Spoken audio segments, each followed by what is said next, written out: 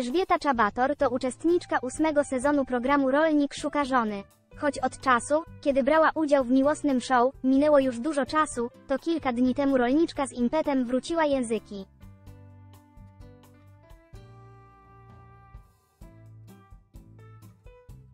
Wszystko za sprawą imprezy sylwestrowej, którą spędziła w towarzystwie Józefa Raciniewskiego, króla turnusu 5.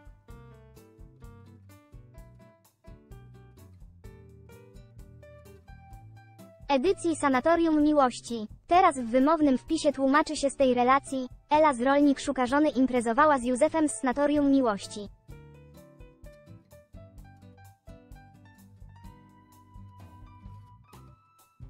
Kilka dni temu pisaliśmy o tym, że Elżbieta Czabator spędziła miły czas w towarzystwie Józefa Racińskiego i przywitała z nim nowy rok.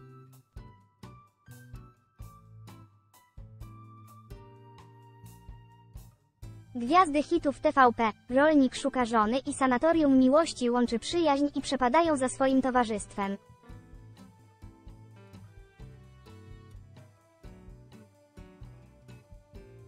Postanowili więc spędzić razem sylwestrowy wieczór na tańcach i zabawie, co jak się można było spodziewać, wywołało niemałą sensację.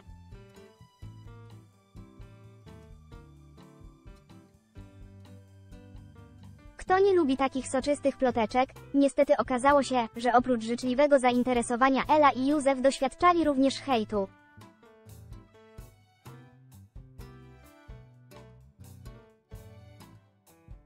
Z tego powodu rolniczka postanowiła zabrać głos.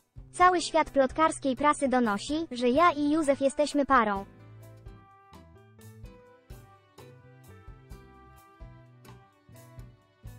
Zastanawiam się nad tym, w jakim świecie przyszło nam żyć? Czy dwojgu samotnym ludziom nie wolno iść się zabawić? Na zachodzie jest to całkiem normalne, w Polsce wszystko musi się dwuznacznie kojarzyć, niestety.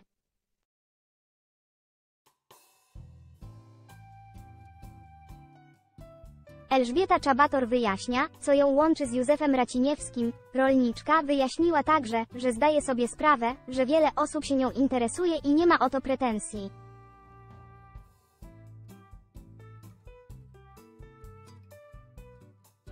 Postanowiła jednak wyjaśnić, co ją łączy z Józefem Raciniewskim, aby raz na zawsze zadać kłam plotkom.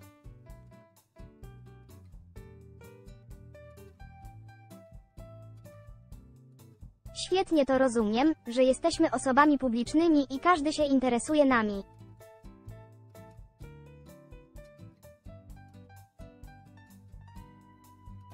Niestety nie zawsze jest to miłe, bo oprócz miłych komentarzy spada na nas też obrzydliwy hejt.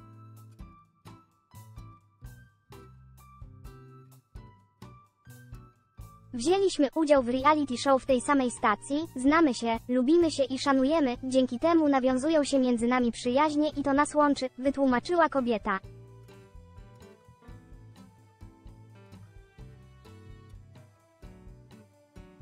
Czy to uspokoi rządną plotek publiczność?